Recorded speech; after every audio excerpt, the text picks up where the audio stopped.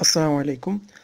Today before going to the lesson, before going to the tutorial of anatomy, I would like to thank you from the bottom of my heart for your comments, suggestions, subscriptions, confidence, encouragement and uh, support uh, towards me and asking me especially for making more videos of anatomy. So dear friends uh, I am very happy and it's a pleasure to serve you in such a beautiful way. And I can tell you that your compliments and your support enabled me to work harder and share you the little knowledge of anatomy that I have in the hope of benefiting uh, new learners uh, as well as to myself in particular. Um, dear friends I am doing all these stuffs all these things uh, using the easiest and the simplest way that I can. Uh, and we have already uh, uploaded three trial videos of anatomy. And you might have watched the uploaded videos in which we were talking about a little bit about the carpal bones, metacarpal bones and uh, phalanges. However, from today onwards, uh, we shall do something different. We shall start dealing with the anatomy of the upper limb as a whole. So when we start studying the anatomy of the upper limb, it is important to have a profound knowledge of the bones of the upper limb. So before going to the bones of the upper limb, uh, now I would like to remind you the four important parts of the upper limb. So we have the shoulder region. This is the important part and it gives the structural stability to the upper limb. And mm, secondly, the brachium or the arm, we say arm or the brachium. And uh, the third one is the forearm or the antebrachium and the hand or simply the manus, manus or hand.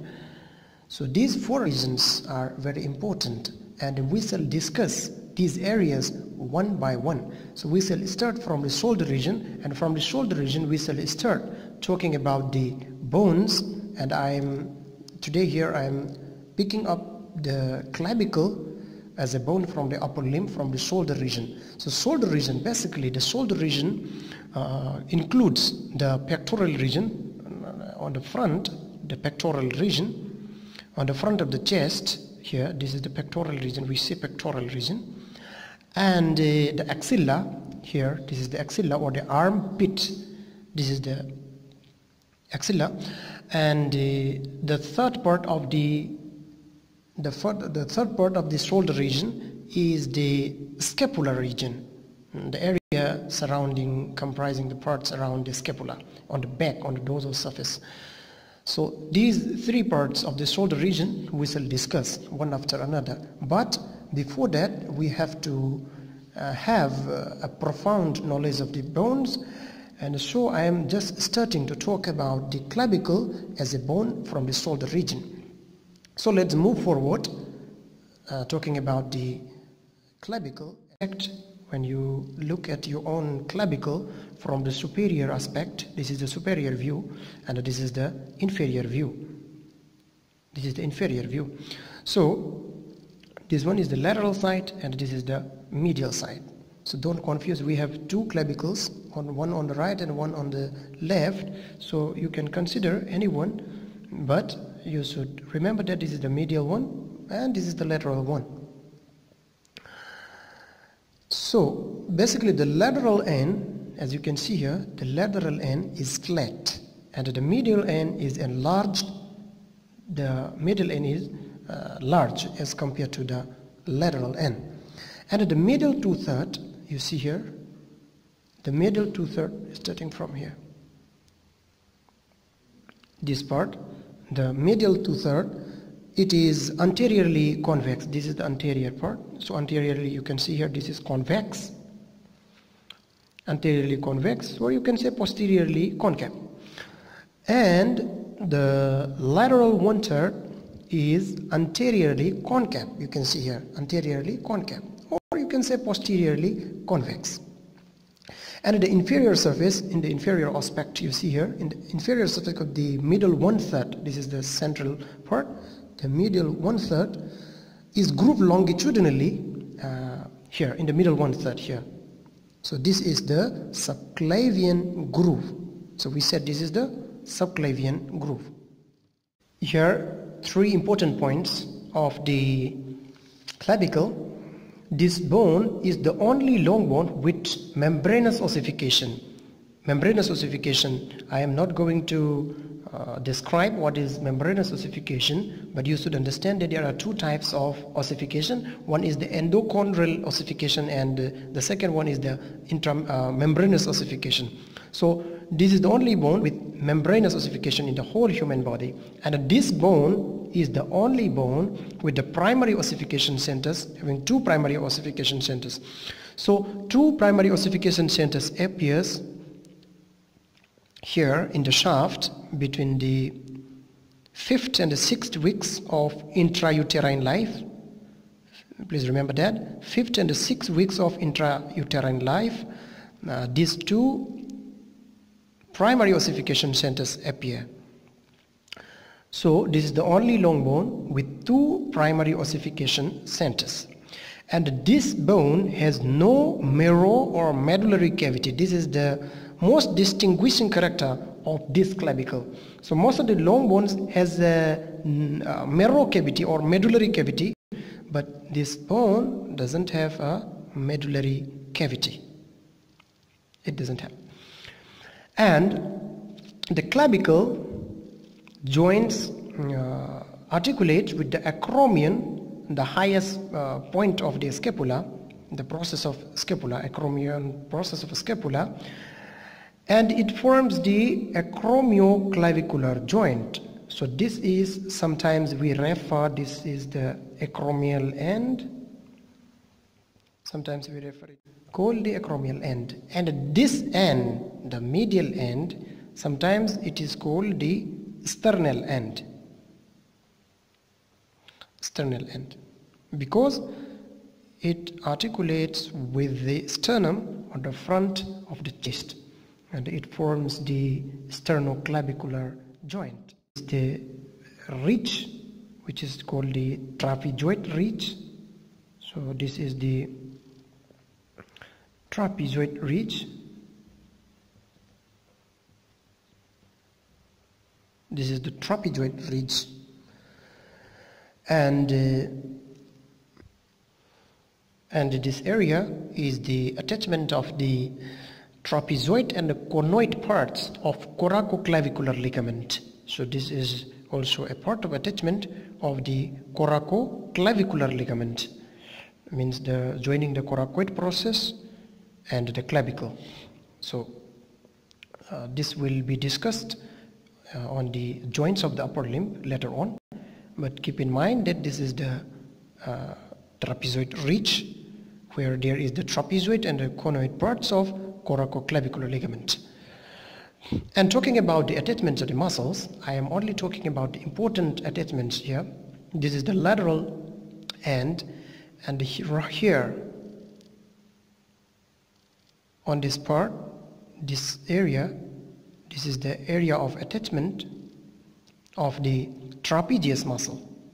So I am writing here this is the trapezius muscle and here this area I am not repeating the parts because this is the superior aspect and the lateral end of the lateral end uh, there is the attachment of the deltoid muscle. So this is the deltoid. And this deltoid muscle uh, is right over here. Here is also the deltoid muscle. You can see here this is also the deltoid attachment right over here because this area and this area are the same on the inferior aspect also you can see the attachment of the deltoid muscle. And here here is the attachment of the subclavius muscle.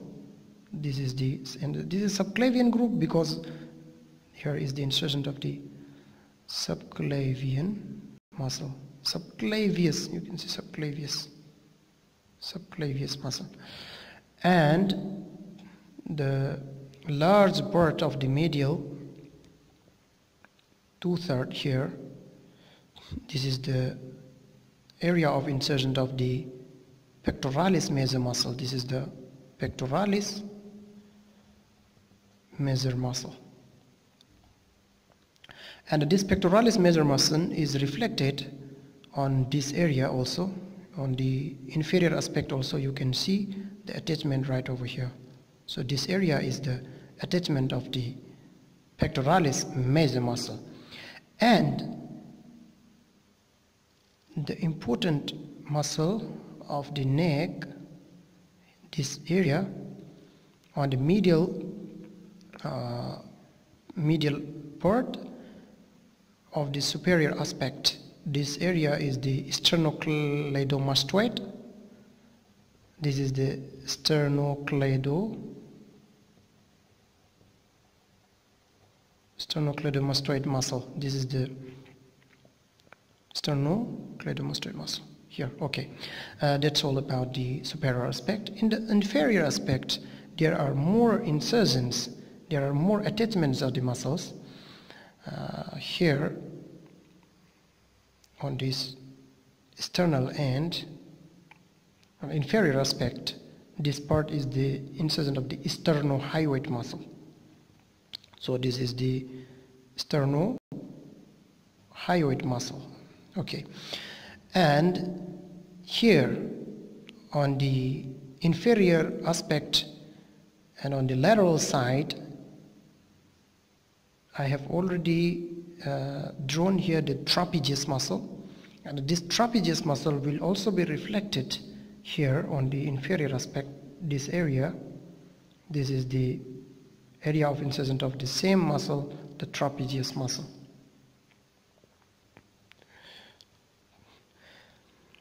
And I have talked about this with this part. And here uh, small incision. This is also the trapezoid and the coron, uh, conoid parts. This is the trapezoid part and this is the conoid part. So this together forms the coracoclavicular ligament. I have to mention you an important clinical part of the clavicle that uh, this clavicle when it is fractured the most common site the prone area of fracture is this part this uh, between the two curvatures of the bone mm, the concave one and the convex one. So between these two curvatures this part is the most common area most common site of fracture and the trapezius muscle this this trapezius muscle alone is unable to support the whole weight of the upper limb, the whole weight of the upper limb. So the lateral fragment, this lateral frag fragment, it is uh, displaced downwards by the weight of the limbs. You see here, so this trape trapezius muscle uh, cannot support the weight and that is the reason this part, because there is the fracture and so this part will be pulled downwards, displaced downwards by the weight of the upper limb.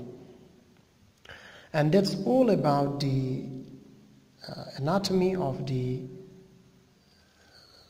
clavicle and I hope that you would get uh, the most of it and we are going to talk about the scapula in the next video. And thank you for your support and thank you for watching. Keep watching and if you don't subscribe the channel please subscribe and we shall bring you uh, more precise and easier methods of learning anatomy. Thank you for watching. Until next time have a nice day